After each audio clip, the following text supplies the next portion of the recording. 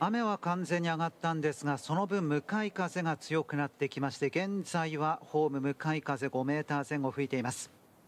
続いては11レース準優勝戦このレースも定番順です。インコース1号艇高倉和人が入ります。予選では4勝マークのオール3連隊で堂々のトップクリア。2コースは2号艇馬義経。予選大崩れなく第4位で通過しています。3コース3号艇吉島義行は予選最終日2着1着でまとめています。4コース4号艇石田明は前半トップスタート逃げた1着です。5コースは5号艇川島啓二ここまで大崩れありません。6コース6号艇下出拓也昨日に続いて再びチルと2度と跳ねました。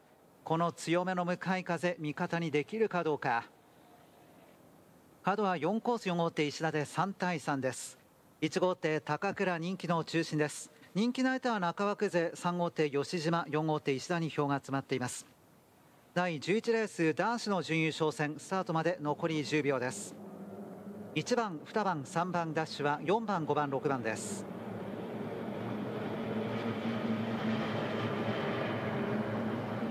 スタートしました。1コース1号艇高倉4号艇石田5号艇川島が5スタート逃げる1号艇高倉3号艇吉島まくっていった。牧田さん6号艇下でおっと転覆がありました。3号艇吉島にアクシデント2番手争いは4号艇石田外2号艇馬ですが先頭1号艇高倉なおスタートは正常でした。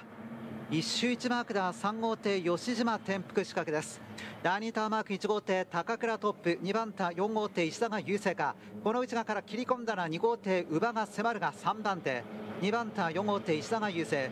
上位は1番4番2番でスリットを5選手が通過しています。2周1マークここは自己艇とレスキューの外を回る。トップ1号艇高倉和人。2番手4号艇石田明そして2号艇乳母義経の順。1番4番2番です。4番手6号艇下出最高峰5番手が5号艇川島。5艇がバック中間地点です。これから第2ターンマーク1号艇高倉が先頭です。2番手4号艇石田。そして2号艇乳母の順です。1番4番2番。5艇が2周にマーク続々旋回。ホームステッチに帰って最終周回です。なおこのレース1周1マークでアクシデントありまして3号艇吉島義行は転覆失格になっています。3周1マークここも自己艇の外を回ります。1号艇高倉和人が先頭。2番手4号艇石田明そして2号艇乳母義経の順です。3連単142は10.5倍になっています。これから最終ターンマークこれで明日の優勝戦も絶好枠が見えてきました。